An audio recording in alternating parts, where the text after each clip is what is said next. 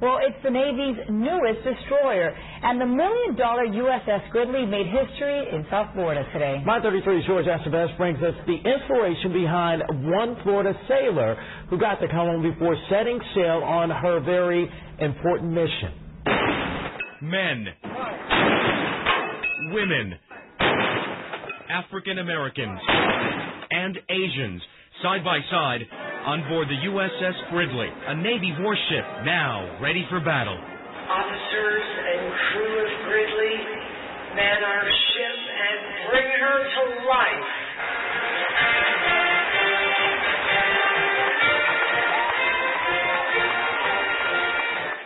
And just like that, 400 crew members boarded the ship named after a Civil War captain, Charles Gridley, who died shortly after winning the Battle of Manila Bay in 1898. I plan out the best, the best, safest route to get there.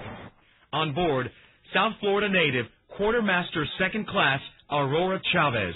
I get to show my friends, my family here, and, and right now up here on the bridge in Miami is just wonderful.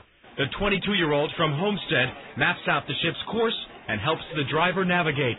Chavez was in the bridge during the ship's commissioning ceremony where thousands watched as she officially became a member of the U.S. Naval Fleet. We're honored to be here today, but we know we have a job, we have a mission, and that's our ultimate responsibility. As Chavez disembarked, they're, they're back there on one of the tables. She was reminded of her other responsibility. Her three-year-old daughter, Alicia. She doesn't want to let me go. And it's tough for everyone in the audience here to let go. From veterans to children to mothers, they watch as their loved ones sacrifice for our freedom. Well, the Navy won't tell us where Chavez or the rest of her crew will head the next couple of days, but after spending some time here at the port of Miami, the USS Gridley will make its way eventually to its home port of San Diego. At the Port of Miami, George Estevez, My 33 News at 10.